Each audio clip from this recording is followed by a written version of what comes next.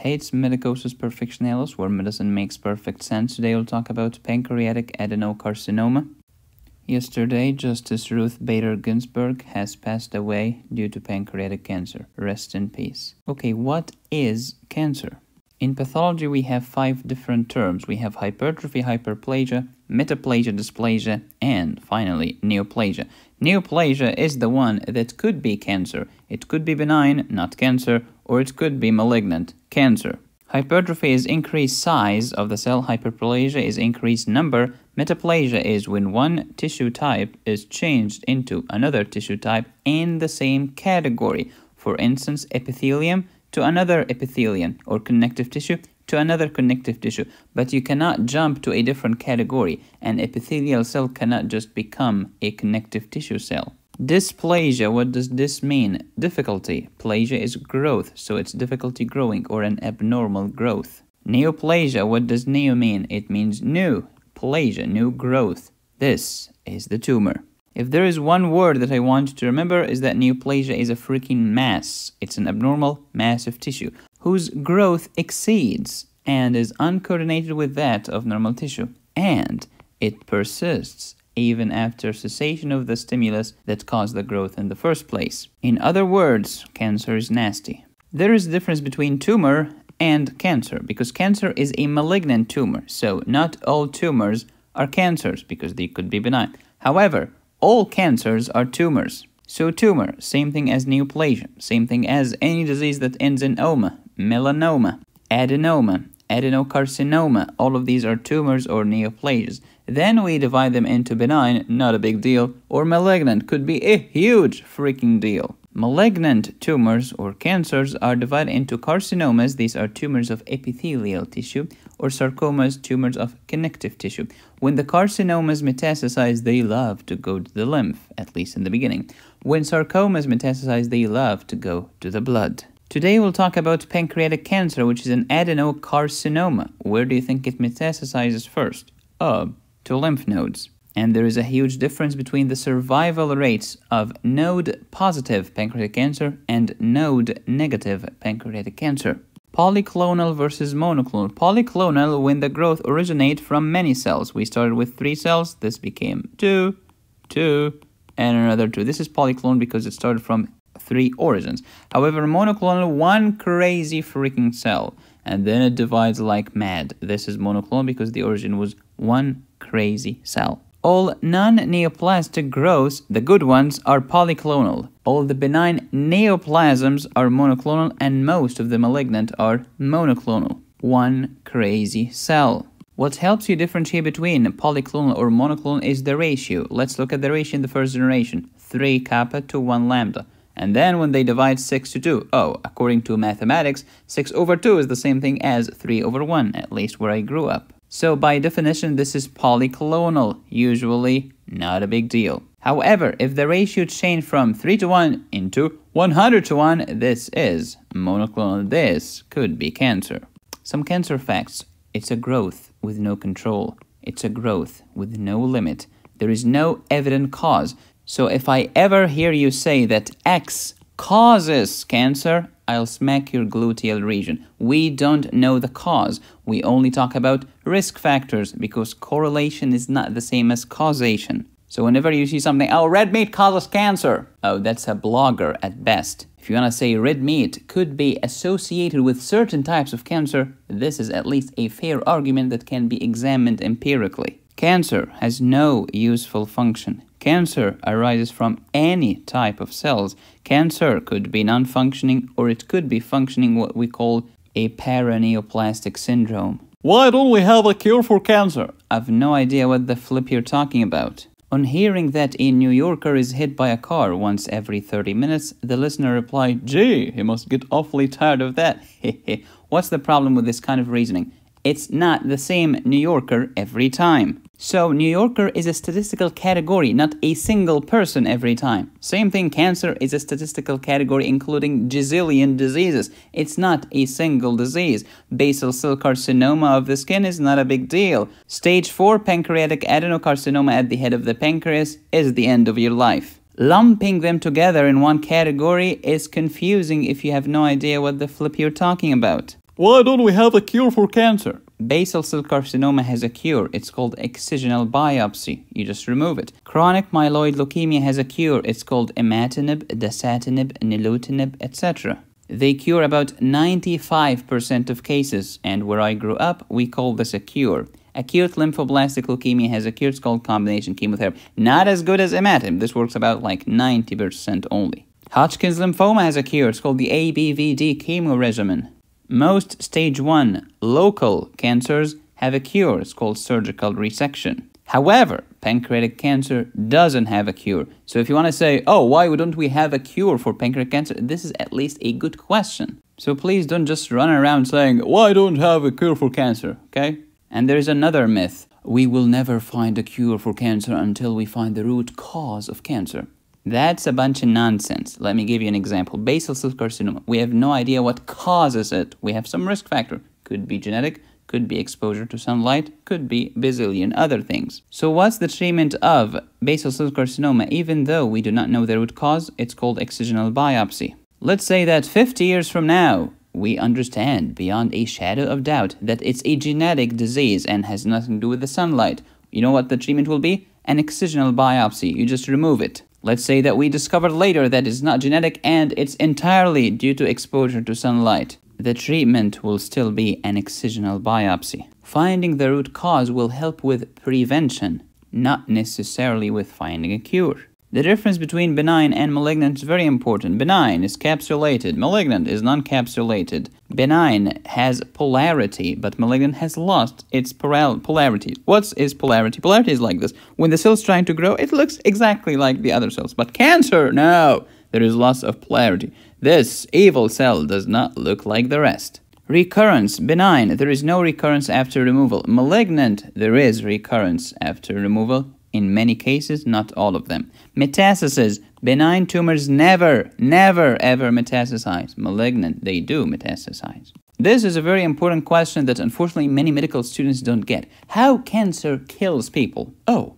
anemia, cachexia, which is severe weight loss, organ destruction, metastases, obstruction of intestine, ventricle, pituitary, etc., and paraneoplastic syndrome. Pancreatic cancer is evil because it can cause almost all of these. Cancer management. Sometimes you just watch and wait. If the tumor is very slow or indolent, or if the patient is very old and has gazillion other things, and if he dies, he will probably die from these other things. In that case, managing the tumor aggressively might cause more harm than good. And then the trifecta surgery, radiation, and chemotherapy. If you listen to your woke anatomy professor, he or she will tell you that we have only one pancreas. But physiologically speaking, that's not true. We have two pancreas. We have the exocrine pancreas and we have the endocrine pancreas. The endocrine pancreas secretes hormones such as insulin, glucagon, and somatostatin. Exocrine secretes digestive enzymes into the GI tract, your gastrointestinal tract specifically, your small intestine, particularly your duodenum precisely the second part of the duodenum,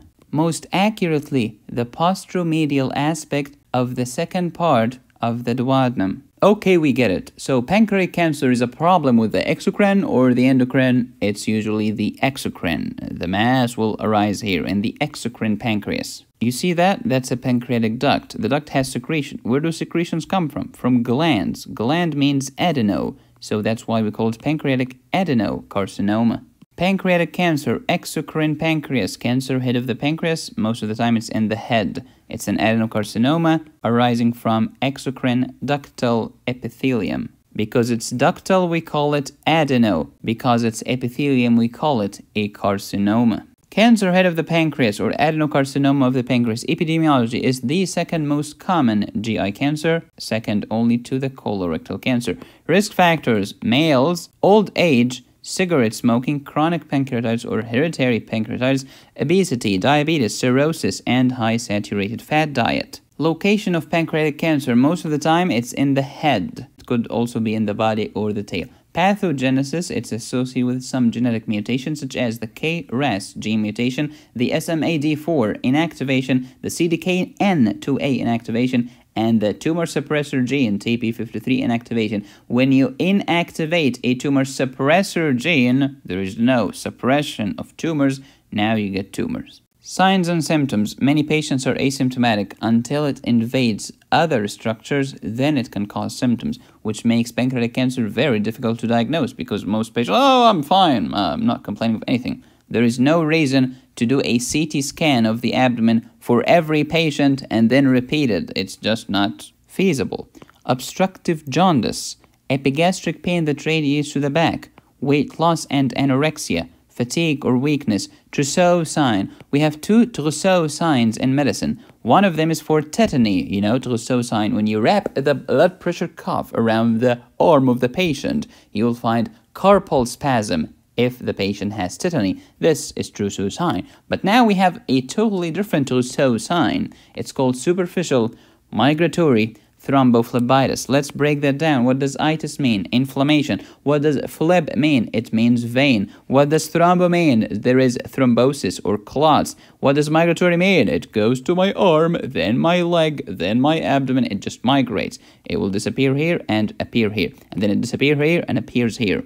In my previous video about vitamin K deficiency, I've told you that one of the causes of vitamin K deficiency or any other fat-soluble vitamin deficiency could be one of three things. A problem in the liver or bile, a problem in the pancreas, or a problem in the wall of the gut. So if you have a problem in your pancreas, you will not be able to reabsorb the fat or the fat-soluble vitamins. Pancreatic cancer is a huge mass. This mass can obstruct the common bile duct, so now there is no bile, and we need bile to digest fat and fat-soluble vitamins, and that's why pancreatic cancer can lead to steatorrhea, loss of fat in the stool, and loss of fat-soluble vitamins in the stool. The location of this stinking cancer is really horrible because it can obstruct the common bile duct, leading to accumulation of bile here and then uh, bilirubin is going to just leak to your blood, leading to jaundice. You know what else? Bile salts can leak to your blood, leading to itching. The bile is not moving, cholestasis, which can increase risk of gallbladder stones. And if you read about Justice Ruth Bader Ginsburg, she had a procedure in her bile duct just a few months ago. This could probably to remove the stones or to relieve the obstruction caused by the pancreatic cancer, probably an ERCP. Steatorrhea. The patient will say, Doctor, my stool is very greasy. It's like has a lot of fat and it's foul smelling. It floats on the toilet and it's difficult to flush. And don't forget the superficial migratory thrombophlebitis. So obstruction is one complication. Another complication is metastasis. It can metastasize to the liver. In that case, it will give you a right upper quadrant abdominal pain. The pancreatic cancer by itself could be painless or it could lead to an epigastric pain that radiates in the back when you lay down on your bed on your back at night. Metastasis to the liver can also lead to hepatomegaly. Pancreatic cancer can also metastasize to Virchow's node, which is the superior clavicular lymph node. Remember, it's a carcinoma. Carcinomas love to go to the lymph nodes, while sarcomas love to go to the blood. Quick question. What other cancer went to the Virchow's node? Let me know the answer in the comment section. How do we diagnose pancreatic cancer? From the history, jaundice, steatorrhea, abdominal pain, anorexia, anemia. Physical findings, jaundice, Courvoisier sign, which is palpable gallbladder, usually painless. Now contrast that with cholecystitis, it is palpable gallbladder and it is painful and we call that Murphy's sign. Trousseau sign, which is superficial migratory thrombophlebitis, comes on the exam all the time, and Sister Mary Joseph node, which is peri-umbilical metastasis of the pancreatic cancer. Radiology, abdominal ultrasound, but the answer to the exam question on the exam, here is a 69-year-old male who has been smoking his lungs out for his entire freaking life and he also drinks alcohol. He has chronic pancreatitis and diabetes, etc and now he's complaining of yellow discoloration of the skin, itching, fatigue, weight loss, some painful dark skin lesions all over his body. What should you do next? The answer is CT scan of the abdomen. That's the best. And then labs, you can also do the CA19-9, that's a tumor marker for pancreatic cancer. You might also find CEA, and this is also common with colorectal cancer. While liver cancer has the alpha fetoprotein. Protein. What if you have a patient with many, many, many big lesions or big tumors in his liver and he's positive for CEA? Oh, that's a metastatic colon cancer. So it's a colon cancer, started in the colon and metastasized to the liver. That's why it's still carrying its CEA marker. Biopsy. You do percutaneous pancreatic biopsy, usually a fine needle aspiration under guidance of ultrasound or CT scan, or you can do an endoscopic ultrasound or EUS and guide the biopsy. How do we manage cancer of the pancreas? First, there is no cure. Second, it has a horrible prognosis. And then the question is Is the patient a surgical candidate? Can we operate on this patient? Can we remove the freaking tumor? You ask yourself Is the tumor localized with no invasion of major blood vessels and no distant metastasis? If yes, yep, this patient may be a surgical candidate. What should you do? Surgery. What kind of surgery? A pancreaticoduodenectomy, which means ectomy means removal of the duodenum and the pancreas. We call this the Whipple procedure, not to be confused with Whipple disease by the Tropheryma whipplei. Some chemotherapy might help, such as 5-FU and gemcitabine. But if the pancreatic cancer has metastasized to distant locations or has invaded major blood vessels, there is no point of doing surgery. It's not going to help the patient is unfortunately going to die. So you offer supportive care, you might try some experimental chemotherapy, especially gemcitabine.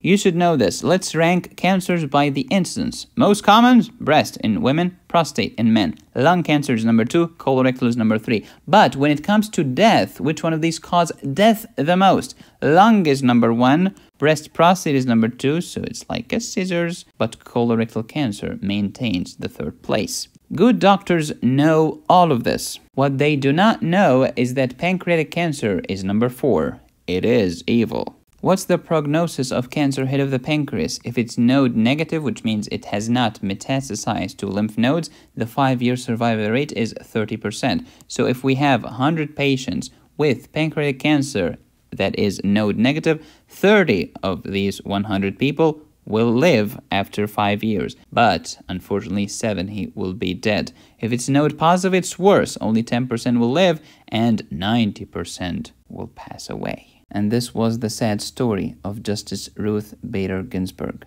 She was the second woman to serve as a justice in the Supreme Court, and she served for 27 years in the Supreme Court. Rest in peace, Justice. Famous people who had pancreatic cancer Steve Jobs, Aretha Franklin, Sally Ride, Donna Reed, and the Egyptian journalist Ali Amin or his brother Mustafa Amin. I really do not remember, so sorry. Next, we'll talk about scleroderma and the autonomic nervous system. So please subscribe, hit the bell, and click on the join button. You can support me here or here. Go to my website to get my premium courses. Thank you for watching. As always, be safe, stay happy, and study hard. This is Medicosis Perfectionalis, where medicine makes perfect sense.